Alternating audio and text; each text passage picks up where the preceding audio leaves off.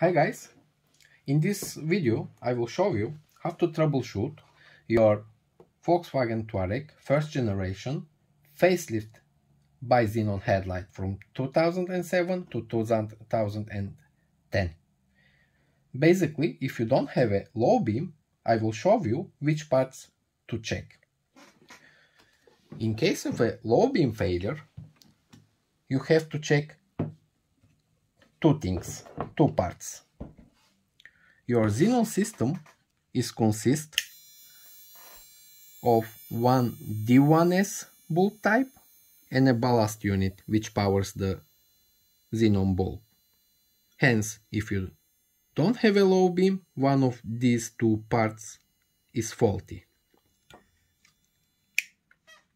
There are a lot of videos at YouTube showing how to remove your headlight from your car. It's very easy operation. You just have to remove your headlight plug and there is another locking mecha mechanism right here. It's a white plastic strip locking mechanism. Just you have to release the locking mechanism and the headlight will pop out and you can take it for a bulb or ballast replacement. It's one of the most practical uh, headlights made in the whole xenon industry. The first thing that you have to check is the uh, bulb because it's the cheaper one it's and it's more uh, more easier to replace it. It's located under the this rubber cap. It is D1S type as stated before it's fixed to the headlight projector with the help of a black retainer ring here. In order to remove the xenon bulb, you just have to counter turn, quarter turn. Eh, it's a quarter turn.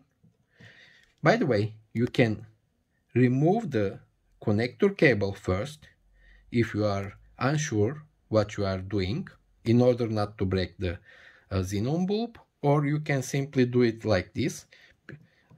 I prefer to just to release the xenon bulb and pull it out without removing the plug.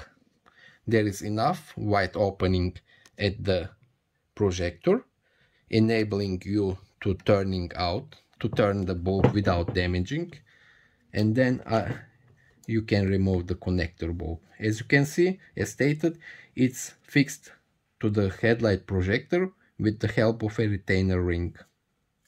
You just have to remove the retainer ring, assuming that this is the working one.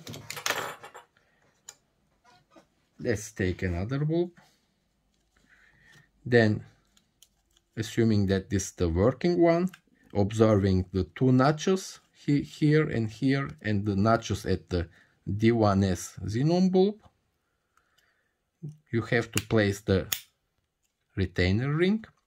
There are four legs at the retainer ring, which these legs goes into the four openings at the projector. So basically, it's around 4 or 5 o'clock position bulb replacement and you will feel that all these four legs has got in. And then you have to turn it clockwise until you feel that it's safely locked. Basically it should be 900 degree in order to be totally locked. Or, but if you feel that the bulb is not turning anymore and if you feel that it's uh, firm. You can also leave it because some rings are thicker, microns are thicker, then it's very hard to completely lock and you are risking to damage the projector. And only then you can put the connector plug here. After swapping the xenon bulb from the working side to the non-working side and you still do not have a low beam, it means that, as showed before, your xenon ballast unit is faulty.